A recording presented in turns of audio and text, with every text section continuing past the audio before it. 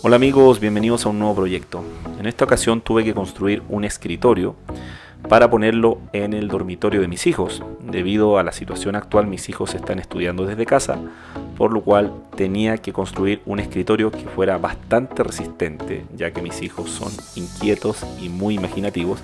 Así que desde ese punto de vista creo que el terciado o contrachapado era la mejor alternativa para construir un escritorio resistente.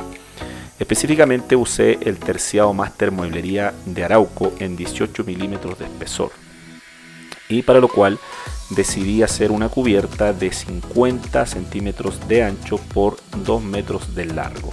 Para dar mayor resistencia decidí pegar dos tableros para hacer la cubierta. De esa manera el espesor de la cubierta iba a ser de 36 milímetros. Para hacer ese pegado ocupé la cola fría Grid Bond 2, que creo que era la opción más idónea debido a la superficie que estaba pegando. Ocupé muchas prensas, más de las que pueden ver acá. Ocupamos casi 40 prensas por todo el contorno. Ocupamos también estos eh, pequeños listones de melamina para poder mejorar el apriete sobre todo el tablero también para las patas hice lo mismo uní dos tableros de 18 milímetros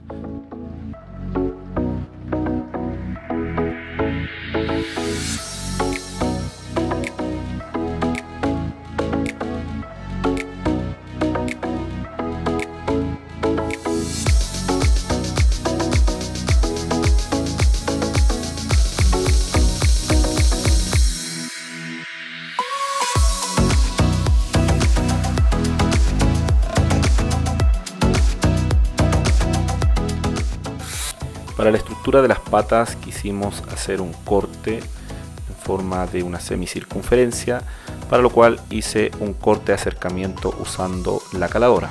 Pero luego con una router y una guía hice el corte definitivo. Es bueno entender que la caladora muchas veces es una máquina más bien que hace un corte de acercamiento y es con la router a través de guías, plantillas y una fresa duplicadora que uno hace el corte definitivo. También la unión de los tableros los fresé para que de esa manera parecieran una sola pieza. Redondeé los cantos también para evitar que mis hijos se lastimaran sus manos, ya sea en las esquinas y también en las patas.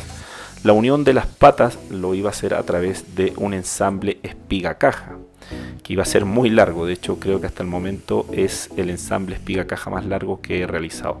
Para ayudar al fresado, eh, hicimos perforaciones con una broca Fosner, de esa manera el fresado se iba a hacer un poco más fácil. Ocupamos una plantilla, la cual hice en la sierra de banco y también con la ayuda de la aspiradora para que fuera mucho más fluido el corte del material, lo hicimos de esa manera. Así fresamos la caja. En el caso de la espiga usé la router de superficie con la guía de acrílico que realicé un tiempo atrás y que también está ese video en mi canal para que lo puedan revisar.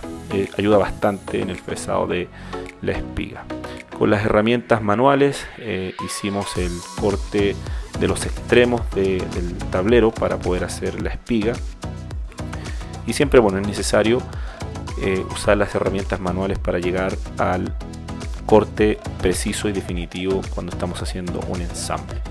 En el caso de este material, el tablero eh, es mucho más fácil, creo yo, que trabajar la madera nativa. La madera nativa o natural se comporta de otra manera cuando va liberando las cargas a través de los cortes. En ese sentido, el tablero es un material que tiene un comportamiento mucho más estable debido a que son distintas capas. Es un material que está controlada su, su humedad Así que tiene deformaciones, pero definitivamente son mucho menores que las deformaciones de la madera natural. Hicimos un fresado de los cantos y también apliqué lija en grano 120 con la lijadora Rotor Vital. Biselamos todos los cantos para que fuera agradable al tacto, como pueden ver aquí. Eh, ahí es muy cómodo ocupar la router de palma o fresadora y el diseño que queríamos darle a este proyecto era que fuera una especie de escritorio Lego, debido a que los Legos son de los juguetes favoritos de mis hijos. juguetes que la verdad que son bastante buenos. Son un poco caros a veces, pero son bastante buenos. Así que decidimos cortar eh, estos círculos, ocupamos una eh, broca de copa y con estas winchas de lija que construí en grano 80 y grano 120 fabriqué esos círculos. Tomamos las medidas y ocupamos la misma escala de los legos para que se viera más real. Y de esa manera aplicamos eh, cada uno de estas eh, circunferencias o círculos para dar esa figura de Lego. También biselamos los cantos y luego que tuvimos todo eso listo dispusimos a hacer la unión, la cual quedó bastante precisa, es muy satisfactorio cuando logras tener un ensamble espiga caja que queda bastante preciso. De todas maneras igual es necesario usar prensas, la cola fría, pero todo quedó impecable.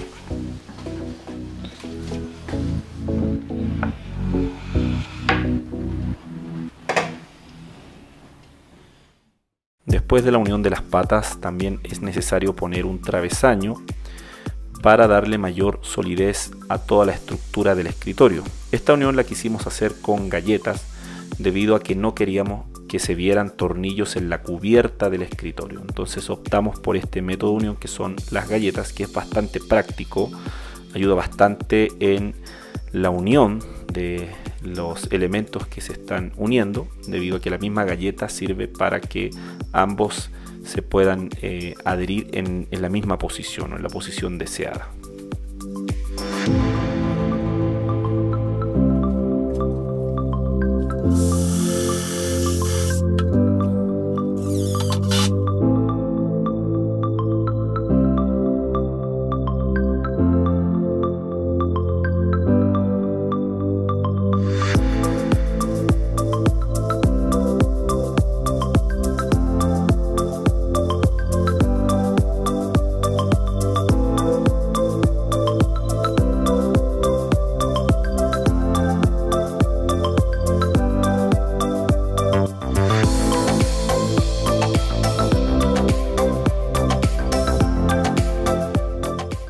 El acabado se lo dimos con el aceite cera Osmo, el 3032, que es el tono preferido de nuestro taller. Lo siguiente era hacer una especie de cajonera, la cual se va a poner debajo de la cubierta. Va a ser independiente del escritorio, pero también forma parte de este, debido a que se puede mover, va, va a tener ruedas, pero va a estar abajo de la cubierta. En algunos casos incluso también pudiéramos moverlo para tenerlo fuera del escritorio, pero es parte también del escritorio. La unión la hicimos con galletas y con cola fría para evitar que se vieran tornillos, ya sea en los laterales o también en la cubierta de esta pequeña cajonera.